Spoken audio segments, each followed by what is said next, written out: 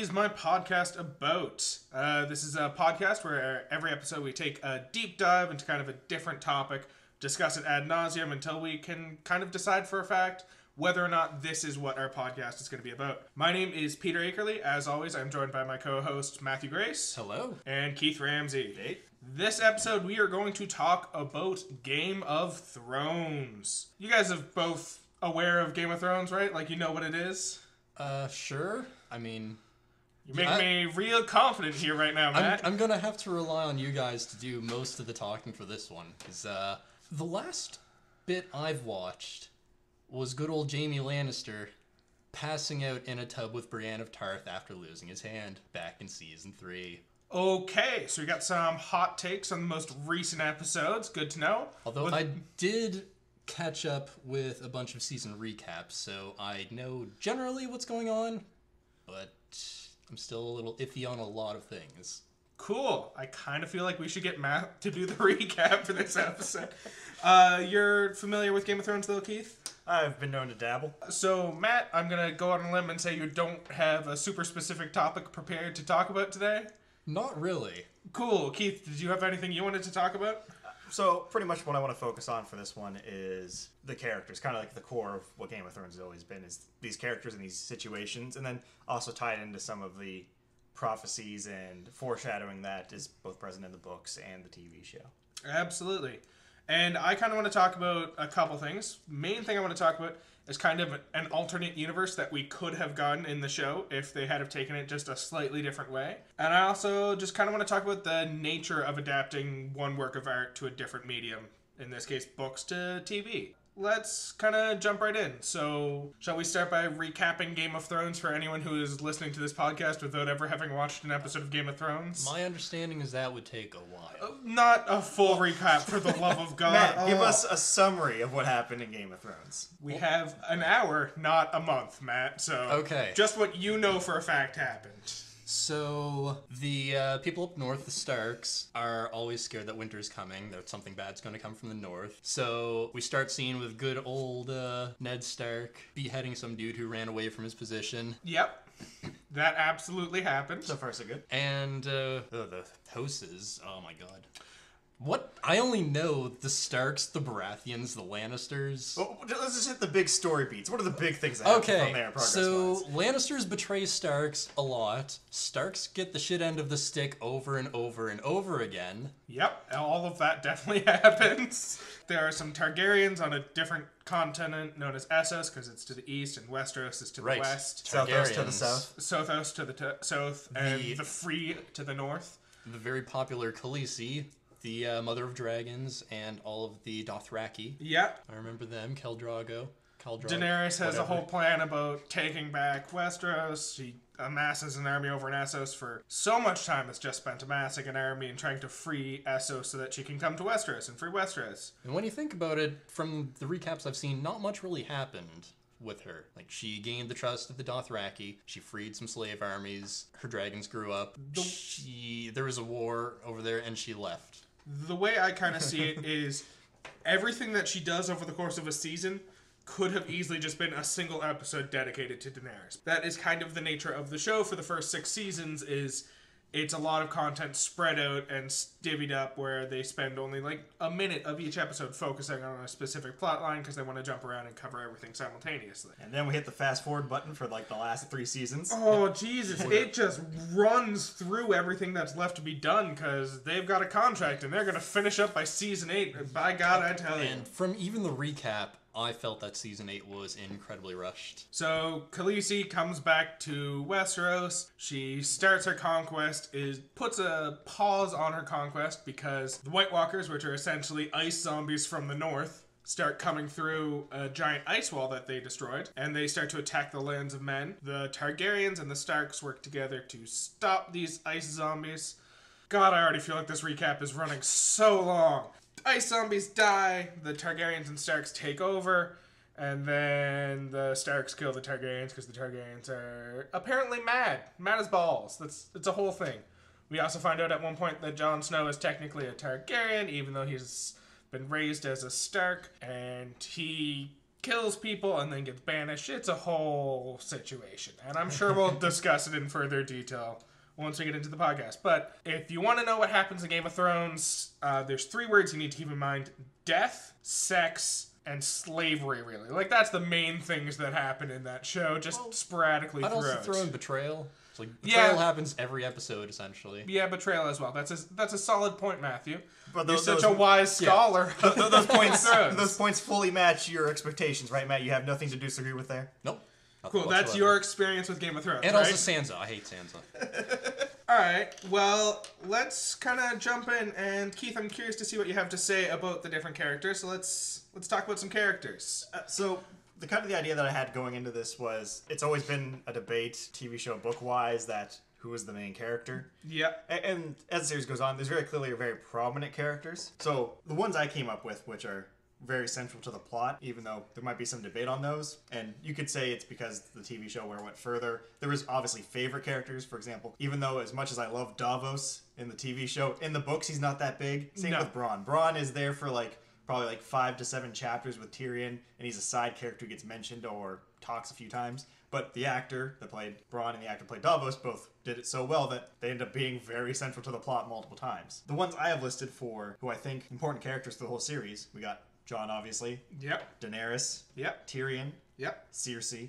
Arya, Sansa, sorry Matt, and Jaime. I can get behind those names. Yeah. And I won't debate the fact that Sansa uh, had several key roles through the story. I just hate her. And uh, on top of that, the big debate really didn't end up coming down to Jon and Daenerys, the main characters uh, Yes. for the series, even though the other ones play uh, quite major roles. I feel like for the longest time, even going back to season one, as soon as Ned went down and was killed off, I feel like a lot of people were like, well, come on, it's going to be Jon or Daenerys. They're really the two that fit the idea of what the main character is. Well, it comes back to the title of the series is A Song of Fire and Ice, and everyone likes to point out that Daenerys is the mother of dragons and she's immune to fire, and Jon has snow as his last name. you don't get much icier than snow, except I guess hail maybe. I never saw that connection. Never. Oh, I'd say that hurts, but also I'd be surprised if you knew both their names or knew those two facts about them to make the connection. You watch during this conversation, Matt's just going to drop some random knowledge on us that we don't even know. Oh, I would love it if that happens. Oh, Actually, in this chapter, they explain that. But what about Daenerys' uncle, Aemon the Third? He was the truest of the Targaryens. Uh, let's not get our hopes up, guys. Uh, my hopes are set like right at the ceiling right now, Mike. You're safe. Matt, not Mike. I don't know what that was. So, did you want to talk about any of the characters in depth? Uh, so there's a few characters I felt, uh, especially going into the last season, which I'm pretty much focusing on using examples going back. I found that most of those characters, even though uh, there was quite a bit of hostility online about who had a good character arc and stuff like that, I felt all the characters, even as rushed as the last few seasons were, were handled pretty well, and all the characters ended up logically where I would see them ending up. Absolutely. I definitely agree with that. Uh, so Sansa's storyline has always been about her kind of doing away with her childish ideas of what power is and Yeah, because at the, The beginning of the series, she's just, for lack of a better term, she's a silly little girl who's obsessed with marrying a prince so that she can one day become queen. And then she realizes that princes are sometimes just dicks, just complete and utter dicks. And she has just a long story of bad things happening to her. Until she gets to the point where she realizes, maybe don't wait for a knight in shining armor to come save me. Maybe I should be the badass that I was born to be. And she learns political intrigue from pretty much the best in the game, Cersei and Littlefinger, throughout the series. Yeah. Uh, and her story goes from her being trapped and helpless to relying on others to get help. Really, Tyrion's the only one who respected her in any sense, and she learned his political method. She learned Littlefinger's when he went to the Vale with him, and then finally ended up in the North and saw like the ruthless, uh, ruthless and aggressive moves that need to be made as well, which she employed at some points. I would argue she kind of learned from Daenerys, but rather than taking on Daenerys' political methods, rather than learning from them, she just kind of learned what they were and then used those against Daenerys to her own ends because she had learned so much from the others already. Of course, and when the show went past the books as well, just the way that Sansa's story was going, I feel both in the books and the TV show, I was never doubting that she was going to be the one that ended up running House Stark at the end. Yeah. It seemed like very early on that that was the end goal for her character if she made it to the end. Absolutely. Bran had no uh, direct claim to the throne, oh, the uh, House Stark that he wanted, anyways. Uh, he was suspected dead for the longest time. Rickon I always felt would probably die off. Oh, Rickon was just a death waiting to happen from the beginning of episode one. Well, the beautiful thing too is he, he named his direwolf Shaggy Dog, which Shaggy Dog's story is a story that goes nowhere, and he fulfilled that perfectly. yep. Jon uh, never wanted any form of power, so he He's- wasn't going to take it. Repeatedly through the series, gets power thrust on him, and then he immediately deflects onto the closest person to him. It's like, yep, you get the power. It makes you wonder why he wasn't that good at dodging all those knives, considering how much he dodged power. Uh, and then Arya obviously also wanted nothing to do with any type of court or ruling power. She had one type of power in her mind, and that was the power of steel. Uh, Robb had a failed experiment of becoming his dire wolf. So really, uh, Sansa was the only one who had the skills and the potential to take on uh, the House Stark uh, and rule it. As for Arya, again, her whole idea that she didn't want to conform to the norms. Uh, that idea was nurtured by Ned and the rest until she was forced to go overseas and learn from Faceless Men and just how gritty r- reality really is. But she still didn't conform to their norms because she quit there, didn't she? Yeah. She's wild and untamed, and that kind of reflects in her story too at the end. She ends up going on to sail across the sea and see what's west of Westeros. And if you know how a map works, it's probably the other end of Essos. Yeah, it's probably Essos. It's probably like Asshai. Yeah, Shy, all that fun stuff with the, what was it, D- the Dark City or something like that, in the Yeah. Black Sea. Yeah, Where, it's uh, just she's gonna find out. I'd love it if there's a sequel series though that's her like sailing west of Westeros and then somehow just like ending up in Europe. Not even like fantasy Europe, like modern day Europe. it's like how the hell is this? What's west of Westeros? Oh, so uh, the the world of Westeros, or what's the name? Planetos. The world Planetos is flat then. yes, of course. To clarify, Earth is not flat.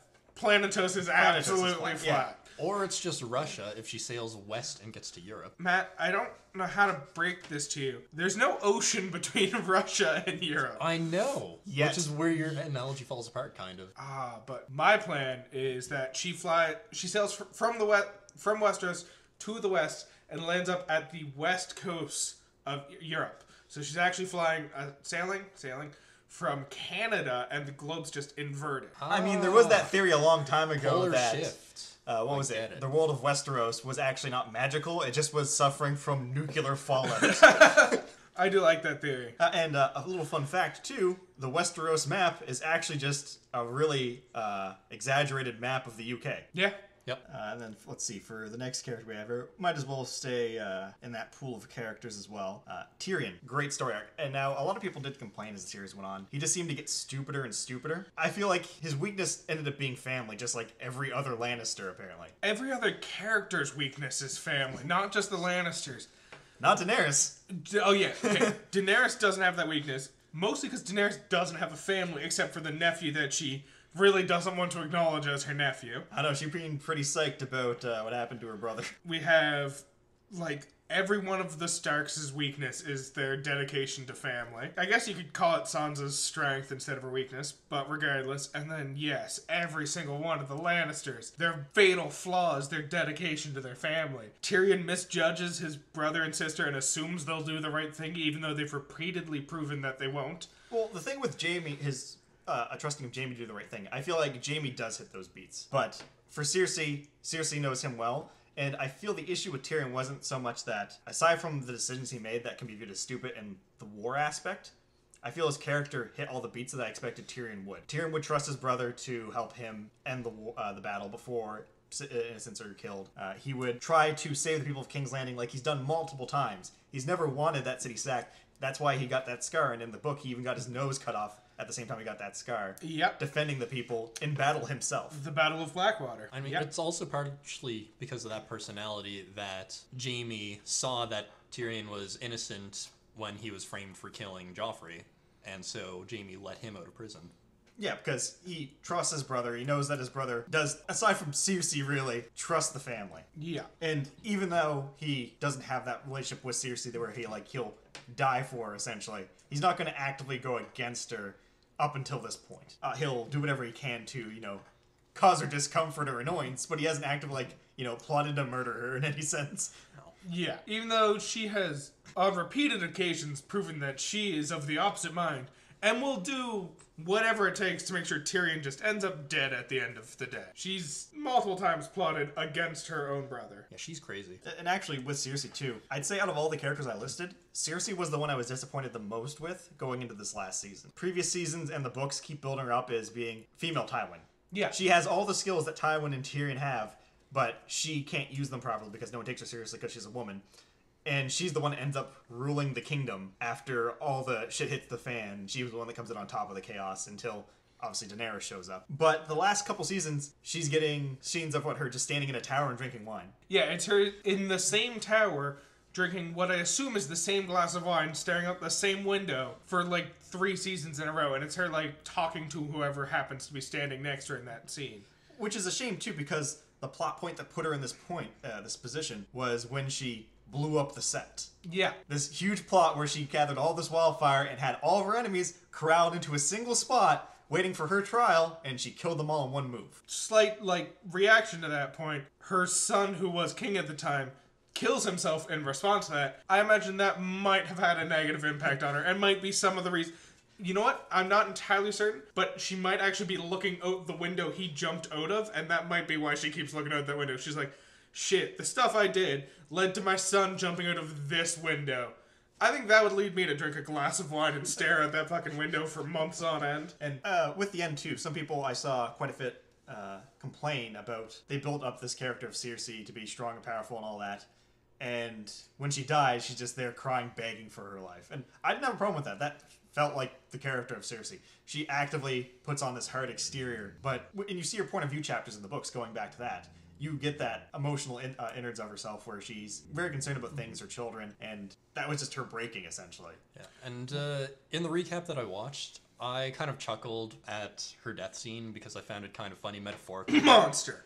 Sorry, metaphorically, that she was crushed by the weight of the castle.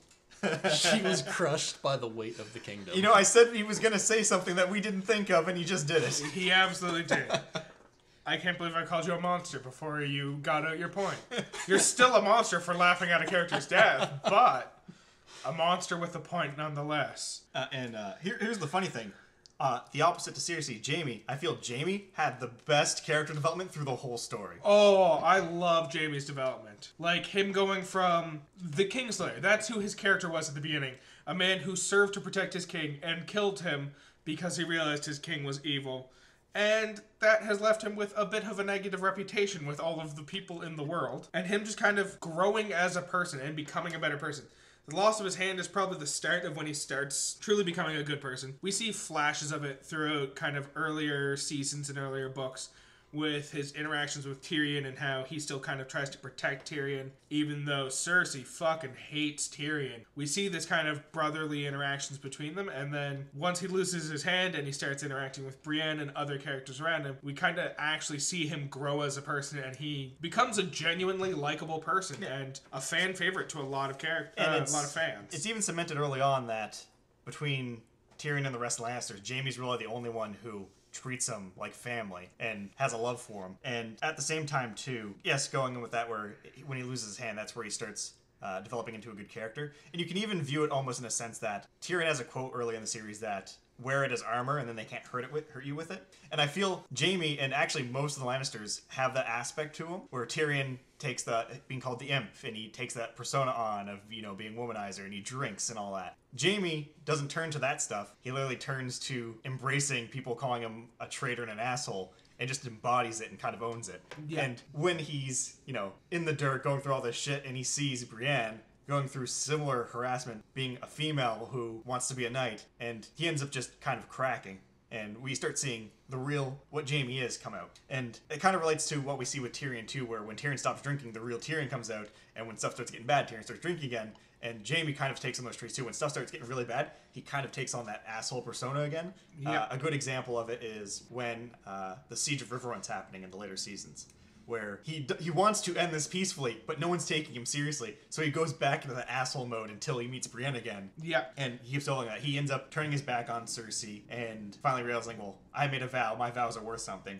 And heads up north to fight with them uh, in the Battle of the Night. I think he has one of my favorite character arcs of all. Just like his growth as a person. He, as you say, he goes up north to help in the Battle of Winterfell. Before the Battle of Winterfell, he has a moment with all these different characters drinking around a fire. And like he has that realization of Brienne wanted to become a knight and he's seen what she's gone through because of that desire. And so he takes upon himself to make her dream come true, knowing that she could die the next day. So he knights her right then and there. Which, first of all, I love that scene because the what they're all talking about, and they're like, "Oh, too bad there's not a king here. It takes a king to knight you."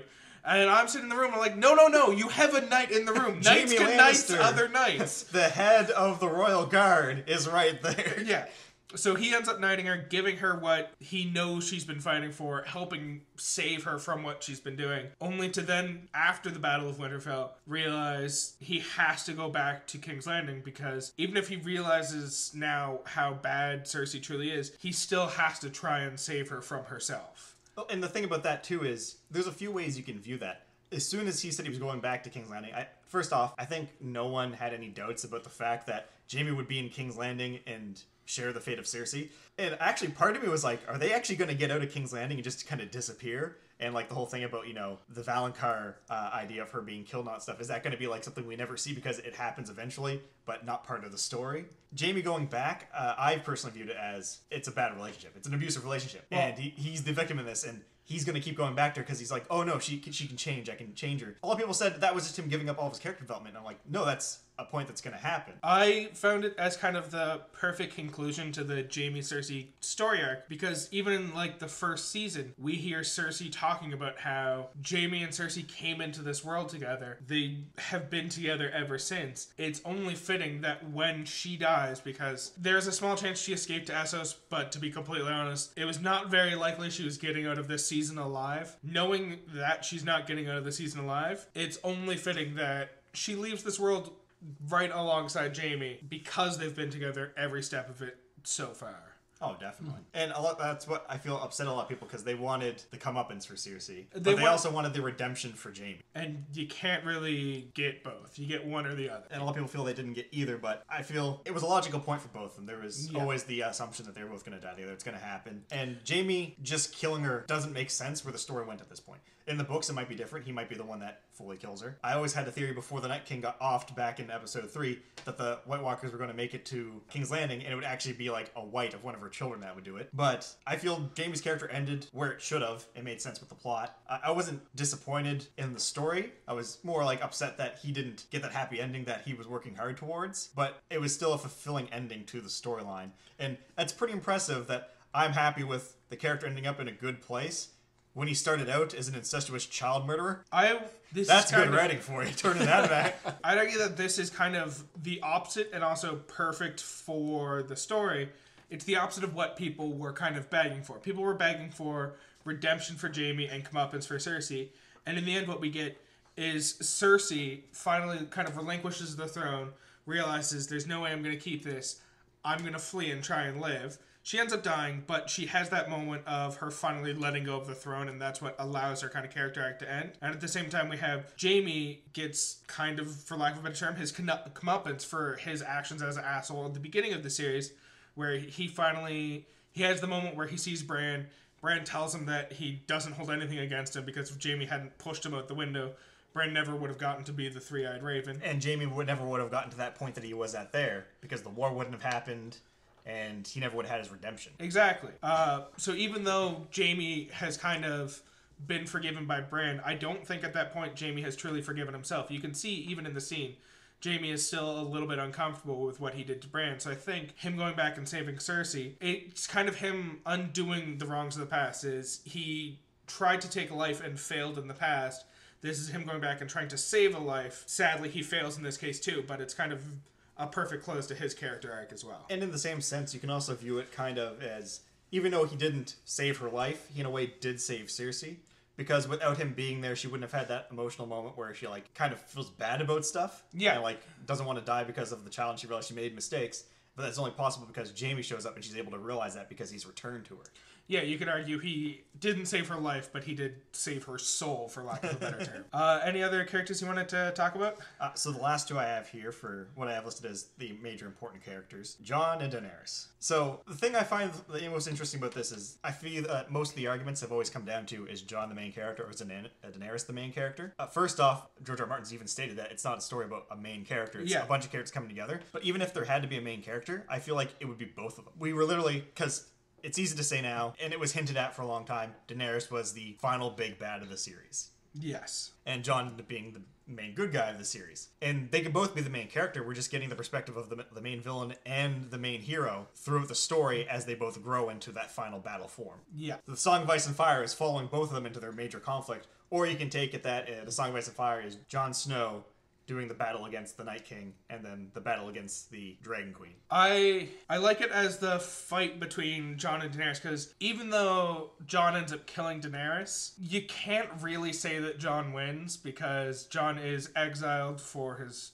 crimes in air quotes. It's really what would happen in a literal fight between a fire and an ice. They're both just kind of destroyed by the whole conflict. In the end, I would argue that Jon kind of gets exactly maybe not a good ending, but it's exactly the ending he wanted where he's no longer in charge of anything. Sure he got banished and he was forced to take the black, but if you watch the last like scene of the series, I don't think he's a part of the Night's Watch. I think he's going north with the free folk Yeah, and he's just Yeah, joining the 'cause, free like, folks. He was discharged from the Black Watch because essentially he died in service, right? yeah. Yeah, your, wa- your watch is ended, so he is free from the uh, vow he and he never rejoined them. He just went up north alongside them. Well, the, the problem I had with that whole thing was it was really what the Unsullied that were like, he has to be punished. Send him north. And then they left. They left. Like literally, when he's talking to the Starks, saying their goodbyes, the Unsullied are on a boat getting ready to leave. They just have to kind of stand. there, like, are they gone? Okay, come back. My argument about that is I think I think Bran knew that Jon didn't want to ever have to consider taking power again.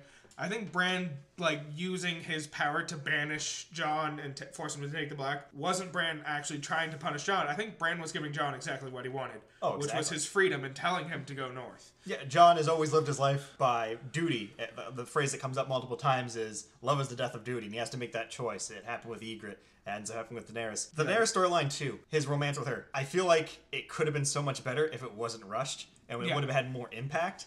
And then it just kind of made him whiny in the last season. It's like my queen, my queen, you're my queen. Like that's all he was Yeah. saying. And even before he stabbed her, like you're my queen forever. Stab. With that, it was supposed to come off as like you know Jon Snow is sad and he's going up north to kind of just live out his life.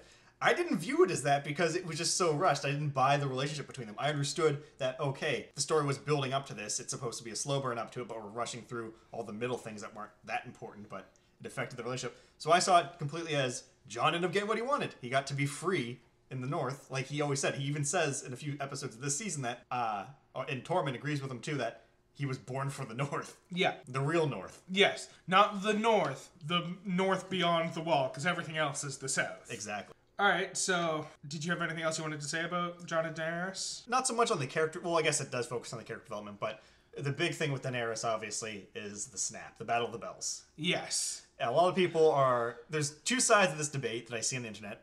One is you ruined the best character, she would never do something like this. And the other side is like, well, they've been foreshadowing this forever. You should have seen it coming, so screw Yeah. you. Both sides have their good points and bad points. Now, I'm not saying I fall into like the it was foreshadowed forever. I feel like Daenerys being turned to, you know, just fuck it and burning down stuff always made sense. We had visions of it, so there was a lot of foreshadowing there. I feel the issue with it was they didn't build it up properly. They didn't take the time needed in the build. And there was the moments there uh, earlier seasons. Uh, she burns people alive multiple times, Yeah, and it- especially in the ritual to bring back the dragon. But it was always just scattered moments, like, right? Like she'd do something exaggerated, like burn someone alive, or she'd want to do something over the top in retaliation, but her uh, the companions, the people with her at the Yeah. time, were like, "No, tone it down. Just, Yep. Just relax. take Jorah, cool." Missandei, uh, Daario, Eve, surprisingly enough, Barristan Selmy. There was a lot of characters around her that were voices of reason, and the be- I th- the thing I like about that is the show did a really good job of one by one killing off all the people who were good at talking her down from killing people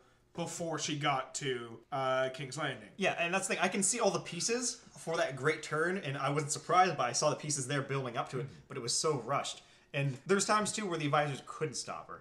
Uh, another example of that is when she uh, was at Slaver's Bay when she got the Unsullied Army, and she just like makes the contract deal with them. It's like, okay, I'll give you the dragon for all this army. I renege on the contract. You're all dead. Yeah. And it's said that she kills all the slavers, but we only see the slaves get out, which means I'm pretty sure she massacred that whole town. And I, in the books, I believe they even talk about how like that city was devastated. She killed a lot of people. I doubt everyone in that town was an active slave owner. There was men, women, and children in that town too. Yes, but from Daenerys's view, if you live in a town that has slavery and you don't directly oppose slavery, it's the bystander point of view. You're just as bad and you're Guilty part of the by problem. association. And that's the other beautiful thing about how they have the point of view chapters from Daenerys throughout the whole story. Where we're, you, when you're getting a point of view chapter, you're getting that character's thoughts and vision of what it means. So you're not getting the negatives associated with it. That's why when the books come out, uh, when the final scene where Jon kills Daenerys, which I'm positive is still going to happen, it's probably going to be from Jon's point of view, and that's when we're going to get that flip of like, oh, this is what's been going on really the whole time. Yeah. And because of that, there's, you know, all of her advisors are dead. She doesn't trust Tyrion anymore because Varys betrayed her, and clearly Tyrion knew about Jon's heritage, and so she knows Jon betrayed her as well. Because- she trusts no one. Yeah. because Sansa, Sansa messed that up. Sansa couldn't keep a secret for five minutes that Ned Stark kept for 25 years. Yeah. So we've started talking about the final episode, and that's kind of what I want to talk about with my kind of idea of an alternate universe. Is just like a few subtle changes in the last two episodes, and how amazing of a story we could have gotten out of that. Like, what if Sansa died and the Okay, Matt, the we get- secret stayed secret? What if Ramsay was right? What if we just kill Sansa in the first scene she has with Joffrey, and then we never worry about that character ever again? We get it, Matt. You don't like Sansa. Actually, I'll admit, uh, I hated Sansa at the beginning too. There was one moment where I was like, Sansa, if you do this, you're the best character ever. And that's the scene in the beginning where she's standing on the, the uh, what's it, the pedway, where Joffrey's showing off Ned Stark's head. It's like, look at that, your father's head. And she looks down and looks at Joffrey. and she and considers like, pushing him. If she pushes him off here, she's the best character. She, hands down. she almost does. So I want to talk about essentially what I love about the last two episodes because there were definitely some flaws in them, but there's something I love about it, and it's kind of the hidden story going on. Not so much the hidden story, but like the story that's happening if Jon doesn't do anything. If Jon doesn't go through and kill Daenerys, instead of getting the story of a mad queen who's killed by her closest adv- or the only person she even slightly trusts anymore, we essentially get the start of like an evil empire. We learn how the empire starts in the Star Wars series. Instead of prequels for the Star Wars series, which do a really bad job of telling any story, let alone how the Emperor got into power, we actually get to see how Daenerys goes from a simple girl who's trying to help her brother get on the throne to a girl who realizes she should take the throne for herself because she's the only one who can do what's right. Seeing her get on the throne and seeing how her I- ideologies have just slowly been warped over time to the point where she realizes that the only way for the world to be good is if her if she rules with an iron fist. And it's like if Jon hadn't have killed her off, we would have gotten a really fascinating look into like how a dictator comes to be in charge how they keep that power and like all of the choices that they make in order to for the greater good for lack of a better term her goals of saving the world through world domination and i think it could have been a fascinating series of just Oh yeah, and even if they just gave, like, say, gave her some time as a ruling party and not just died immediately, that could have set up some interesting dynamics leading up to Jon realizing, like, oh, Tyrion was right. I have to end this. And you could even have that Tyrion did die, like Varys did. Both of them giving out their warnings, and then Jon finally heeding them. Yeah, a couple months into her rule. so first Tyrion ignores Varys' warning warning and tells Daenerys Varys ends up dying for it. Tyrion ends up warning Jon. Jon ignores uh, Tyrion's warning. Tyrion ends up dying for it. Finally, the message is in Jon. He sees Daenerys actually ruling Westeros with an iron fist. All of the evil Unsullied that are now just marching across the land, killing anyone who opposes Daenerys. That's when he realizes that she can't be changed, she has to be killed, and instead of having a story of someone realizing at the last possible moment and killing someone, you have the story of someone realizing too late that they helped a dictator get in power, and even if you kill her now, too much damage has be done, been done to ever go back from it. And the interesting dynamic you can roll into that too is you could have it be like something that makes him fully realize too is she turns really quickly on the north. Like it could be like something that's like a stupid slight that she views from Sansa, and it's like that's it, we're marching north. Well, And you can even see what that slight is in the episode when they're all meeting about who to name as the new king to replace now that Daenerys is dead, and they're deciding who to name as a king. And they're all like, "Yeah, sure, Bran the Broken." First of all, does Bran get a vote on his name? Because No. that's a really depressing name to give a king. Bran, you want to be king? Yeah, I'll be king. That'd be awesome. Brand the Broken. Uh, can we rethink the name? Nope, you're Brand the Broken. Uh, Br- Bran the Wise? Brand the Brand the Three Eyed? Nope, Brand the Broken. So during that whole scene, we see Sansa say, "We've gone through too much for the North to ever bend the knee again. Uh, you can be king of the Six Kingdoms. The North won't bend its knee. The North will be its own free kingdom, sovereign land as it has been for generations before this." And we get that whole line. And if that line had been said to Daenerys after she conquered Westeros, instead of being said to Bran, not even that exact line, just like a hint of her having that thought, Daenerys would immediately snap and destroy all of the North. And that would be the moment that Jon's like, what the hell have I let happen?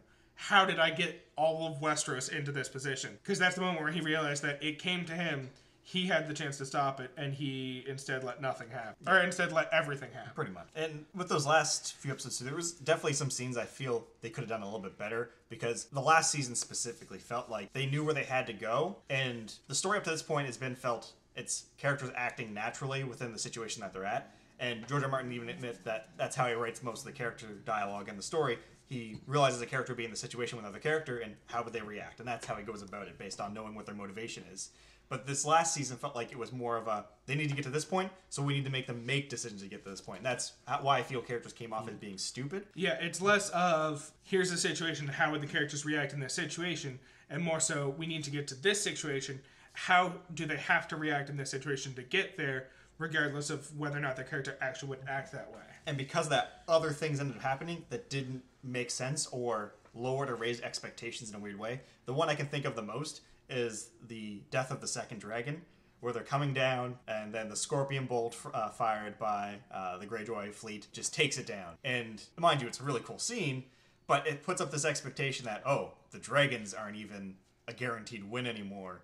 Which we then go into the Battle of King's Landing, where oh, I guess the dragon was all we needed for this situation. The one dragon at that point. And the, the way they could have done that so much better, cut out that scene of the like you can even have that scene where the Greyjoy fleet attacks and maybe wounds one of the dragons.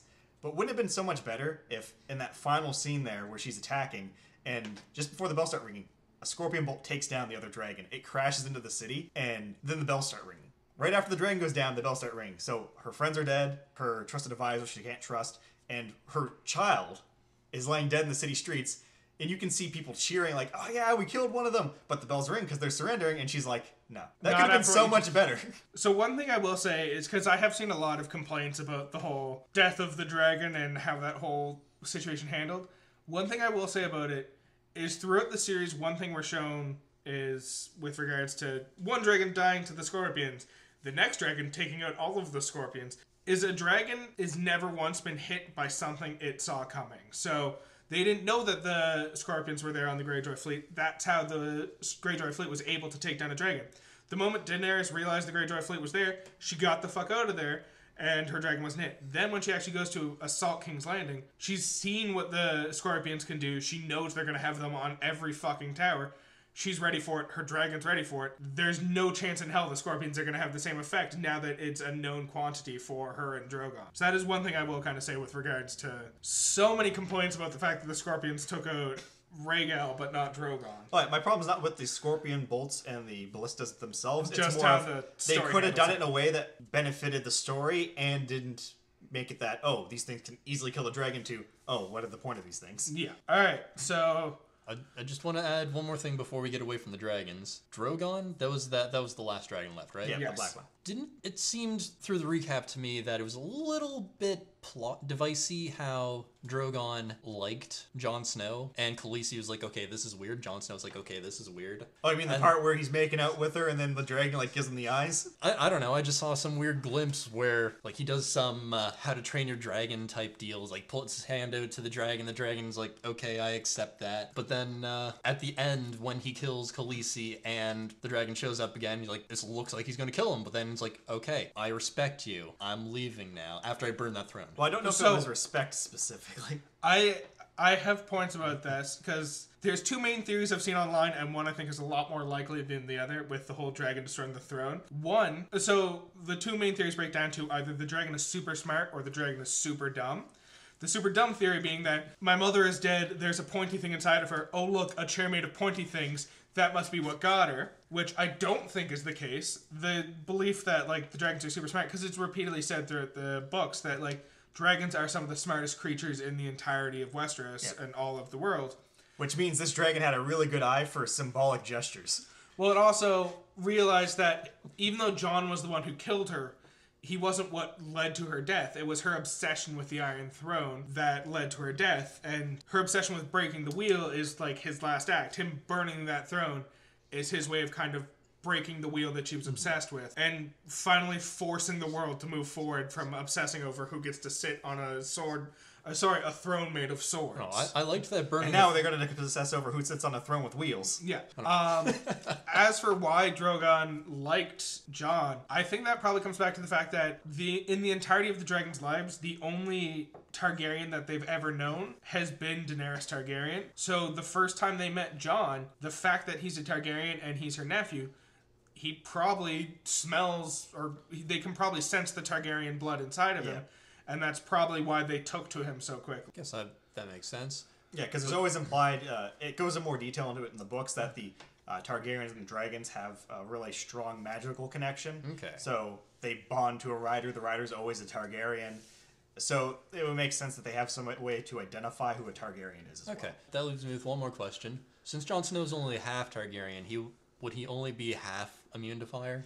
Well, that's the thing, too, because there were so many. I many. really wanted there to be a scene where he was like the dragon decided to breathe on him and They he was immune blue to balled fire. us so many times. Oh, so many chances Because the uh, first one was in the Battle of Winterfell against when Night the King. dragon like rears up and is about to breathe on him. And I thought, oh, this is going to be the moment where we're going to see he's going to like, just tank that fire and come out of it. The second one was at the end too, where the, look, the dragon's going to breathe on him, but then destroys the throne. I was positive there was going to be a turning moment where they would have him get burnt really badly and be untouched, and that would be the indicator to everyone, like, oh, there's another Targaryen. Because I feel like even at the end of the series, no one outside of those twelve people that most of them died found out that he was a Targaryen. That was never spread That was amongst probably part of the reason why Bran sent him away. could be. All right, so we've started talking about the books. Matt, to clarify, you have never read any of the books. Haven't even touched them. All right, so I have a fun little game I want to play for you. It's called Really Fan Fiction or Real Fiction for Fans.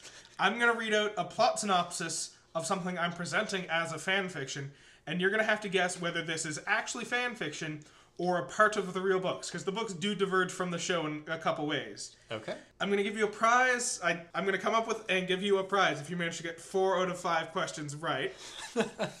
Keith, you'll have a chance to answer after Matt here. I have a feeling you'll probably get them all right because you've actually read the books, but just for fun's sake. All right? Okay. So, question number one. Or not question number one. Plot synopsis number one. In an act of brotherly love, Robb Stark acknowledges Jon Snow as his true brother and rightful heir, or rightful son of Lord Eddard Stark. Sadly, this realization of the bu- brother he never truly accepted comes to him after Jon has already taken the black and Robb has started his war against the Lannisters. So they don't actually get a chance to meet and discuss it. Do you think this is truly fan fiction, or do you think it's true fiction for fans?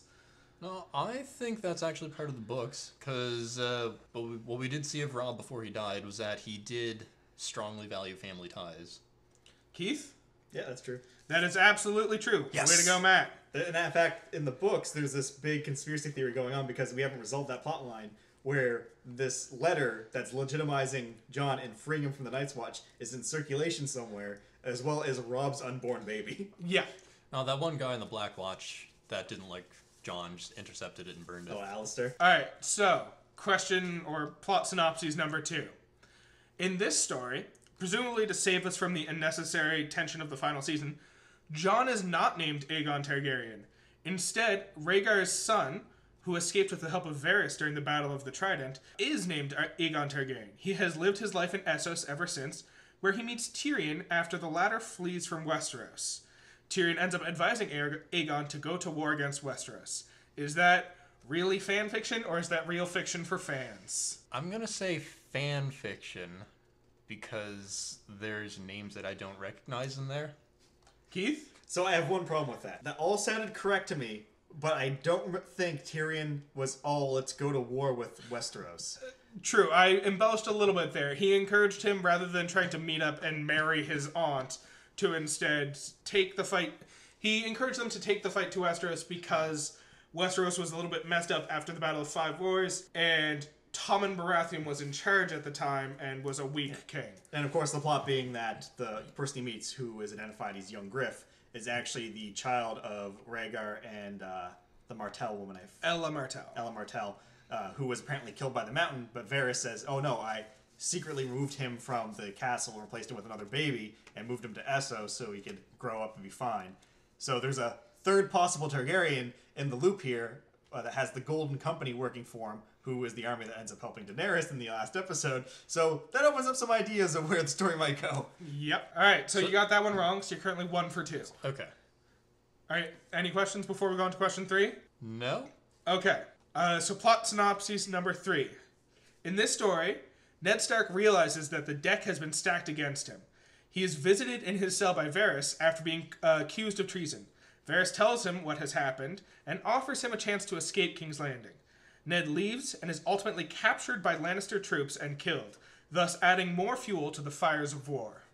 Is that really fan fiction or is that real fiction for fans? Now that sounds like fan fiction because, uh, I mean, right up until the point where he was offered freedom and he was hunted down and killed out and away from the capital, up until that part, it sounded exactly like what happened in the show. But then it diverted, and how would that benefit the Lannisters when they wanted him to recant? It didn't sound like something that would actually be in an actual published. Fair enough. Keith? No, he's right. Yeah, it's absolutely fan fiction. Thank uh. It is from a fan fiction entitled uh, "Kingdoms at War." If you want to read that up. Yeah, uh, Ned doesn't take Varys up on his plot because he knows it will make the situation worse, uh, and he is very much a man of his word, and he knows that his family's at risk if he does that. Yeah, and also the Lannisters wouldn't kill him away from the capital because they needed him to recant what he said. Well, at this time too, uh, he was under the impression that both Arya and Sansa were being held by the Queen, but at this time it was only Arya, uh, Sansa, and Arya was out in the streets. Right. Yeah. All right. Question number four. So you're currently two for one. If you get the next two questions right, you win my prize. So Not, sure, not sure I want that. It'll be fun, I promise. So, after all the abuse we see Sansa suffer at the hands of Ramsay Bolton, you can't blame the writer of this story for trying to spare her from it. In this story, instead of marrying Sansa, Ramsay marries a minor character who's disguised as Arya instead to earn his claim to Winterfell. The abuse still happens, but this time she's rescued by Mance Rayder, the King in the North. Is that really fan fiction or is that real fiction for fans? Huh. That's a tough one. Um, from my recaps, I don't remember Mance Rayder coming down from the north much aside from like the final assault. So fan fiction. Keith? That's 100% true. That's Jane, Yes, that is Jane. She is one of Sansa's friends from childhood. who got written out of the story in season one. Okay, that's why it sounded so. She, she's there in season one and then just kind of gets written out uh, because Sansa is still in the Vale and never meets Ramsay Bolton at this point in the books. Okay. All right, so you've lost your chance to win the prize. Although I don't think Mance Rayder actually made off with her. The last we heard, something was going on and Mance Rayder was captured, but we didn't actually find out. and Reek or Theon actually ends up saving her, but Mance Rayder does go down to save her. All right, so qu- final question number five. You know what? I'm gonna make it interesting. This is for all the marbles. I'll ignore everything that happened before. If you get this question right, you still win my prize. So, in an alternate universe, we get to see what happens when Beric Dondarrion trades his life to resurrect a fallen Stark. As is often the case with stories of necromancy, a much darker story is brought uh, brought out. This story continues to the point when ultimately it leads to the death of both Podrick and Brienne at the hands of Catelyn Stark. Is this really fan fiction or is this real fiction for fans? Well, it's got to be fan fiction. You said right at the beginning, just alternate universe right at the gate. Yeah, that was a mislead. That's 100% real what just happened. excuse- that is a part of the book. Here's the thing, though. Excuse though. me? We don't know that Podrick and Brienne are dead. In fact, we get Brienne later on in the story. She's the one who goes to Jaime and says, "I need your help. I found Arya." Okay, it doesn't lead to their death. It leads to them being hung by Catelyn Stark. Yeah, they don't get hung. Well, we don't know about Podrick, but we know that Podrick gets hung. Brienne says something, and then Lady Stoneheart stop, uh, like is like she says something, and then the next thing we see Brienne, Brienne is she's with Jaime at Riverrun. So the uh, implication is that she is going to lure Jaime to Stoneheart for revenge. to save Podrick. Yeah. So they dabble in alternate universes in the books? No, that uh, the alternate universe was a mislead. Okay. That actually happens in the story. Okay. That is a real, real life story thing that happens. Yeah, because there's a few things that are in the books that didn't show up in the TV show. For example, Lady Stoneheart never happened, so there's a lot of plot points that were missed with that, especially the Brother Without Banners going dark. That Yep. means we have Beric until the end, which he's dead by book three Yes. permanently. Yes, because he trades his unnatural life so that Catelyn can have some unnatural life of her own. Yeah, so uh, obviously going in last season, like, well, Beric's got to die at some point. He's not going to live through this. He's been Yeah. dead for like three books. Another big one that we mentioned as well, Aegon and the Golden Company was a plot I was really excited. Like, I, that's one of my favorite ones in the book going on right now. Yeah. Even though it's like the hints of like, oh, is he a real Targaryen? Is he a fake Targaryen? We know that there's the prophecy about a Mummer's dragon, so a puppet dragon that's pretending to be a Targaryen. The freaking Martell and Dorne conspiracy, which is another really good plot point that was just kind of swept under the rug. Yep. It was a lot of them just seeing a plot, a whole like story arc, and realizing we barely have time for the story arcs we have. We're gonna end up rushing the last two seasons. Let's just ignore that story arc and not deal with it, and instead keep this different character alive. Like for instance, Rob Stark marries a completely different person in the books, and she survives and just doesn't go to the Red Wedding. Whereas in the show, I believe that's another Jane, Jane Westerling. yeah, Jane Westerling. Because Jane Westerling and Jane Poole. Jane Poole is the one who marries Ramsay. Yeah. She survives. The Targaryens like allow, or not the Targaryens, the Lannisters allow uh, Jane Westerling to live, but like keep her as a prisoner to make sure that Robb doesn't have an heir out there. Anymore. Well, I, I remember there was like a plot where it's like, oh no, she took the moon tea, which is like supposed to abort the the pregnancy. But then there's hints that she's not taking it because she actually did love Robb, even though she was set up to marry him to cause the issue. And then the wedding running happens, she's not there, so she doesn't get stabbed like wife in the uh, TV show. stabbed right in the uterus. That So was- that's why there's the plot of like, oh, there's actually a baby out there that's Robb's heir, and there's also this letter circulating around that is going to free Jon Snow from the wall, but oh, he got stabbed. Yep. Also, Alliser Thorne, not present in the stabbing. He's up north. That he's at Hardhome, I believe, at Yeah. the time of this. Which, boy, if it's anything like the TV show. It's just a whole bunch of fun little stories that aren't really touched on. Well, the other fun thing, uh, even though it's kind of like off topic of the TV series, Alliser Thorne, the whole reason he's at the wall in the books is because he refused to support the Baratheons. He was 100% pro Targaryen, and we always say, "Fuck you, Jon Snow." Yeah. So that kind of brings me to kind of my last topic I want to talk about. I don't know if you guys have anything else you want to talk about beforehand, but the last thing I want to talk about is kind of the act of adapting something from one work of art to something else. So in this case, the process of taking books and adapting them to a TV show. And like how that uh, Sam character at the end adapted all of their life's events into a book. Very, I- very on the nose, Lord of the Rings I reference. Yes. hated that. I hated that entire moment. It was so tongue in cheek, which is not what the show is about. Look, I, I liked moments of that scene, but there were things too. I was sitting there, I was like, okay, Davos being uh, like you know the one in charge of the ships makes sense. Bronn in season one had to had to explain to him what a loan was. Yeah. And now he's Bronn being Master the master Coin. of coin. That doesn't make sense because he doesn't have like a mass a massive amount of wealth and yet he's now responsible for loaning money out to the entire kingdom. Uh regardless, I just I hate that tongue-in-cheek moment of I've written in a book and I've titled it A Song of Fire and Ice. And Tyrion just being like, "Oh, I wonder how I fare in this book. I'm sure he treats me kindly." Uh not exactly. Well, he must treat me unkindly then. Uh, not exactly. I don't feature at all. Yep, there's the one. It would have been better if it's like, I hope he treated me kindly. It's like, well, you spent eight pages describing your penis. That's a part of the books now. yeah. Be ready for that when you decide to read it. Great. All right, so kind of the act of adapting, and there's a whole bunch of different arguments out there about like what needs to uh, happen when adapting a book, and what's kind of owed of the person adapting to the person they're adapting the work from. For instance, what's owed of the showrunners? What do they owe to George R. R. Martin? When adapting his work, what do they owe to the fans of Game of Thrones? Uh, and that brings up a big argument about elision, which is kind of the intentional omission of different story points. This brings up a fascinating story that I found about when I was kind of reading up on the active transposition and uh, adaptation of different works. There's a movie called Greed from 1924 where someone tried to adapt a book to a movie, except he tried to do it shot for shot, word for word. He tried to get every aspect of the book into the movie. The movie he finally shot and cut came out at nine hours long. the studio was like, nope, let's cut that down a little bit. And he was like, fine, I'll cut out all the like not super necessary scenes. He cut it down to four hours, and he was like, "This is the movie you get. You don't get to cut it anymore. Here, have this four-hour movie titled Greed. That's the director's cut of Greed." Then he walked away, and he was like, "This is the movie you get." And the studio was like, "All right, he's not here right now. We're gonna cut that down further to two hours," and it ends up a nonsensical piece of trash because they cut out every story arc of it just to make it fit in two hours. And so, like, the fact of the matter is, anytime you adapt a book into a movie or anything into anything else, you have to like intentionally omit some shit because otherwise there's just not enough time in the world to cover everything. Oh, definitely. And they were also set very clearly on they want to do this in eight seasons. And you can see where they realized, oh shit, we don't have that much time left. Let's let's kill all the Dornishmen. Yeah. So how fast did they wrap up the war against the uh, the White Walkers? Uh, that was Depends episode. on where you want to start it. Well, once the bu- once the fighting occurred and uh, they had to realize, okay, we have to get together and fight this now. Oh, It- four episodes. It, yeah, Okay. it was four episodes between them breaking down the wall and then being defeated. After a build up over what seven seasons? Yeah, seven seasons at that point. Um, Well, that, that, that's not so much with the adaptation, but the interesting idea that everyone idea was, oh, everyone's fighting over the throne, but the main point is the throne's useless. We got to stop the Night King. And then they flipped it on you. And it's like, oh, the Night King was useless. The actual story's about the throne.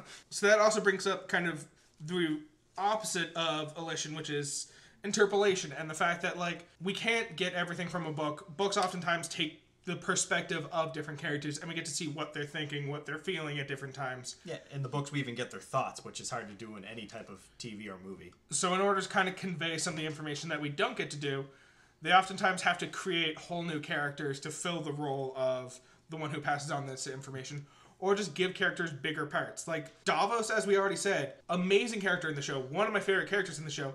He is nothing of a character in the books. And another example for that too is the character of Gendry. Uh, Gendry has uh, another sibling, which I believe is Edric Storm, yeah. who their stories get mixed up because it's Edric Storm that is the one that Melisandre wants to, you know, bloodleech him and kill off uh, all the other kings. When Gendry had never left the Brother without banners, he was never picked up by her. So him and Arya just kind of went their own separate ways because he wanted to stay with the Brotherhood. Yeah, and then there's also kind of other like we've already discussed the fact that in the books Robb has a wife or marries a woman named uh, Jane, and they have a whole story. And then in the show, for reasons I haven't yet to fully understand, they replace her with a woman from Volantis and have her be his wife, and she's a combat medic, and she goes with him everywhere she goes. They just need to kind of introduce different characters. And so it's kind of this idea of when you're adapting something from one medium to another, you have to understand the idea that some things need to get cut, some things need to be added, and it raises the question of like what what is your responsibility as someone who's doing the adapting? And like people always talk about the accuracy of the work, but there's different degrees of accuracy and what exactly you're aiming for. Because you could be you could be aiming for accuracy of aesthetics, which is stuff like what Buddy tried to do in 1924 with the movie Greed, where everything was exactly the way it was described in the book, and you end up with a nine-hour movie. You could end up aiming for like accuracy of like theme, where like you have a fantasy book or a series of books set in a world called Westeros, and there's magic and all this stuff. And I think that's mostly what they were going through in this show. They tried their best in the first three or four seasons to aim for like supreme accuracy, where everything oh. was the exact same. Oh, of course, season one is pretty much book one Yeah. on wholesale. And then by the time they get to season six, they've shifted from that, and it's no longer about accuracy of or exact accuracy. They now start talking about just like they have to get all the themes right. So they cut out certain characters and they add certain characters so that you still get the theme that they're looking for and all the feelings that they're looking for. And, and to be fair on that, the part that actually, uh, like you would classify as the adaptation, seasons one through six, where for the most part it was they had the material they were working off. Some things happened out of order. For example, going to Dorne to get their daughter, uh, the Lannister daughter, and then also going to Riverrun. That happens in reverse order because Jaime goes up to Riverrun, resolves that, and then is heading down to Dorne. In the in the in the t- series, though, he goes to wait no, it's the other way. Yeah, it's He goes to Dorne and then the Then Riverrun, River but Run. in the TV show, he goes to Riverrun and then Dorne. yeah. Uh, so they did some things in order. They cut out the Golden Company plot almost completely, but they still gave him a nod in the show. So there's a lot of good things there. Obviously, the big changes where a lot of the issues ended up happening were after that. So season six, Resurrection of Jon Snow, going beyond the books, Battle of the Bastards. That's where most of the issues people had happen because they're no longer adapting. They're more of we have to make up the rest of this. And I believe I can't remember where I heard it, but Dan and Dave, the showrunners, were told by George R. R. Martin three major plot points to move forward. Yeah. We know that one of them was how Hodor got his name. Yep. Uh, we know the other one was Jon Snow's parentage and his real name. Yep. And I can only assume that the last one is either Jon Snow is going to be stabbing Daenerys because she goes mad, or Bran is the king.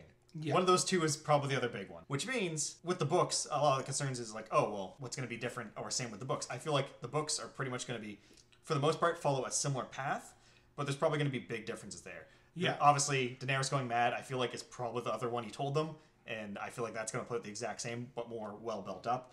But then we have a bunch of situations that are going to be a bit different. For example, one of the biggest uh, mysteries of the story is the Valonqar that will kill Cersei. And they didn't commit to that in the show. We never got a Valonqar. We never got who killed her. They had a nod to because when she dies, Jaime's holding her in her arms and she dies in an embrace. And the whole theory is that she'll have the life choked from her by the cold hands of the Valonqar. Yeah. So that's something we're still going to get the payoff for.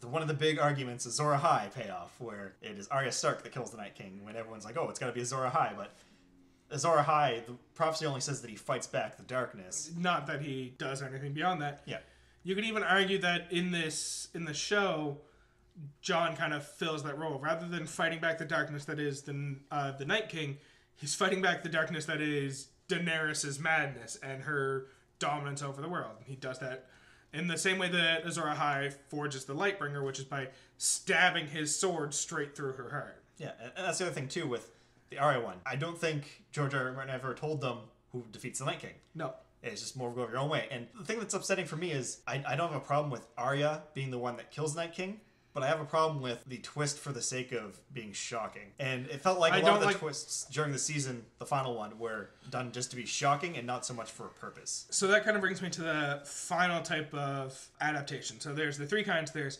aesthetic adaptation, theme adaptation, and then there's just message adaptation. And message adaptation is literally like you have a rough outline of a story that you want to copy. And that's essentially what they did in the final seasons. And that's not because they didn't care about the story anymore. It's because they didn't have a story to care about anymore. Exactly.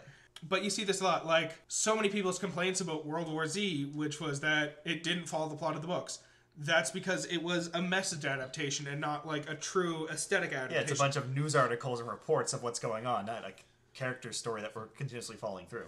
Yeah, so instead of having adaptation of that, which is just a bunch of random different scenes pieced together to tell the story of a world war or an apocalypse with zombies, instead they take the story of apocalypse with zombies.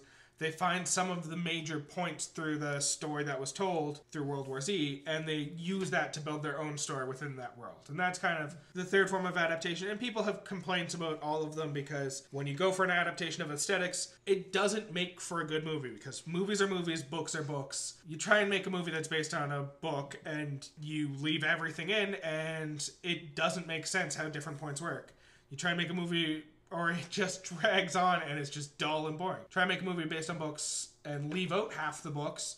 People complain about the fact that everything they loved about the book has been gone. So many people with Lord of the Rings complain about, oh, I don't remember his name, but he's the guy they run into in the Bombadil. woods.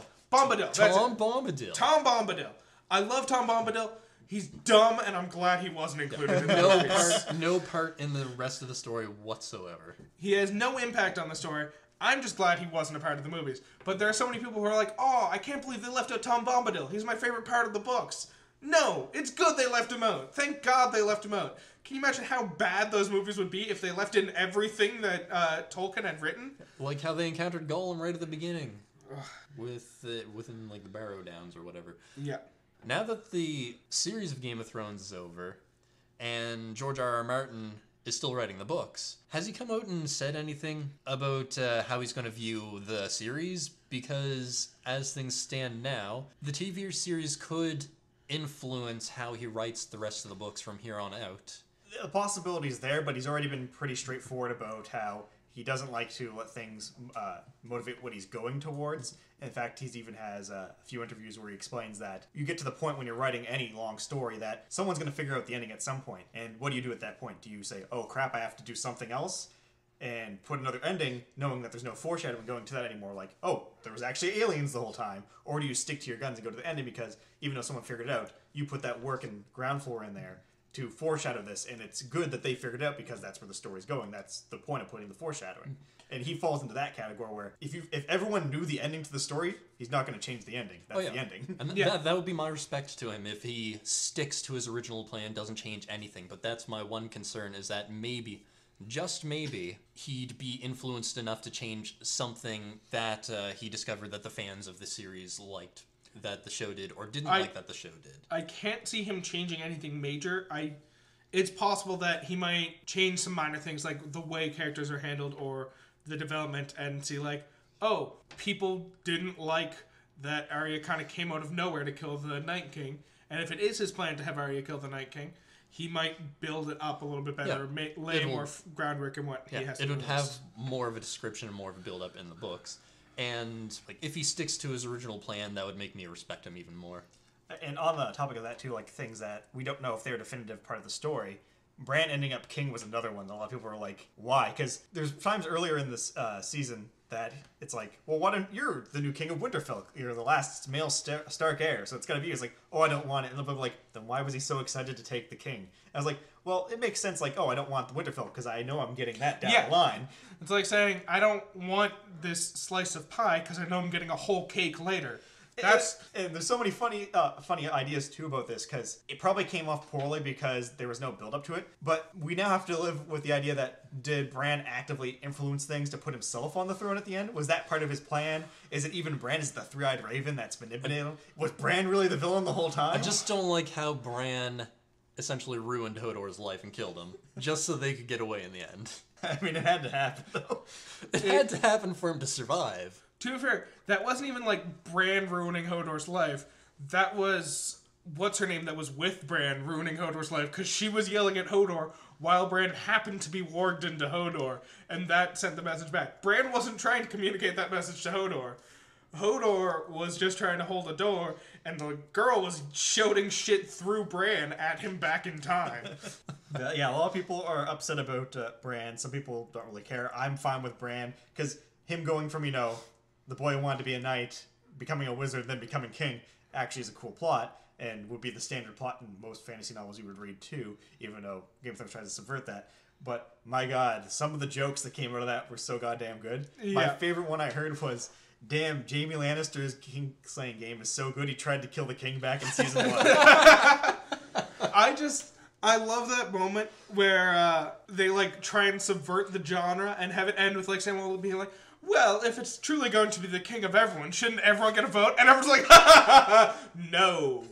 I loved that moment in the yeah.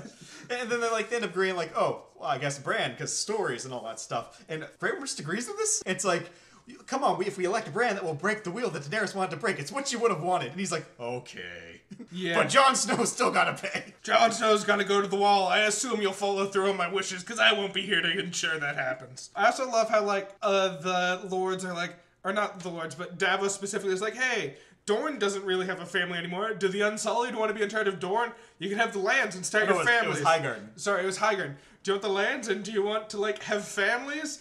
And Grey Worm was like, no, we don't want that. It's like, how rough is it telling a eunuch that they can have families? Also, on top of that, he immediately then goes into when they're voting on He's like, I don't know if I have a vote. You have the power to give away Highgarden, but you can't vote on the king. Yeah, not only that, the power to give away Highgarden, which has already been promised to Bronn at an earlier point. Maybe they don't know that it's been promised to Bronn, Well, but, Tyrion like, has been in jail, and he's the Yeah. only living person that knows about this now. but I do love the idea of like him giving it uh, the Unsullied Highgarden, and then Bronn like coming up to Tyrion, he's like, "Hey, you promised me Highgarden," and Tyrion's like, "Uh, share it with the Unsullied, I guess." You only have to wait a generation. No one's gonna stop you from taking uh, uh, Highgarden once they're dead. He's going to be the one way that they'll be able to start their families. They'll marry women, and then those women will give birth. It just won't quite be a virgin birth. It'll be a brawn birth. the only birth you need in Westeros. Oh. So I, I do have one good question in the theme of it being Game of Thrones we're talking about. Yep. What is your favorite death from the series? Whew. Matt, do you want to jump in first? Because I feel like you have less deaths that you know about to be a fan of. My favorite death was a group death caused by Arya that I've seen in the recap. Is when he she essentially reenacted the Red Wedding, except in reverse. Oh, the Frey Pies. The Frey the, Frey, Frey pies. pies. Yeah. That definitely is a good one. That's a pretty great one. I think I think my favorite isn't even a human death. It's the Night King with his ice spear taking a dragon the fuck out. That was pretty phenomenal to me, especially because of everything it led to with the dragon burning down the wall with his ice magic. I think I think that's probably my favorite death. Oh, it's definitely a good one. Uh, for mine, you see, I have kind of two. One's more of a joke one, and one's more of a serious one. My favorite joke one is definitely when Bronn saves Tyrion for the first time, and he kills that knight. It's like, "Do you have no honor?" It's like, "No, but he did." the guy just threw out the fucking door. room door. Uh, though for my favorite death in the whole series, even though I'm not happy they died, it was still like the best death I think, and that was Oberyn Martell and the Hound when he just like oh, confess, and then he just like cr- like. Of course, it seems to be the only killing move the mountain has, as we find out later, where he just crushed the guy's skull because he tried to do that to the Hound. When he also apparently that's how he killed Elia Martell was crushing her head to death. yeah, so it's it's the mountain's finishing move. I I loved that scene just because of how deserved it felt. Like you have Oberyn just trouncing uh, the mountain, nicking him here and there, poisoning him until the point where he's guaranteed death.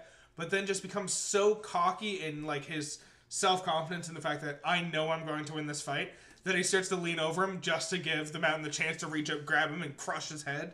I loved that death just for like how perfect it felt, especially with like them building up Oberyn Martell as being an amazing guy, and I love the actor. I his name does not come to mind right Pedro now. Pascal. Pedro Pascal, that's it. I love him. I think he's a fantastic actor, but just like his whole death was fantastic. Well, in a way, it's a good way to be remembered for your death, just like good old Sean Bean.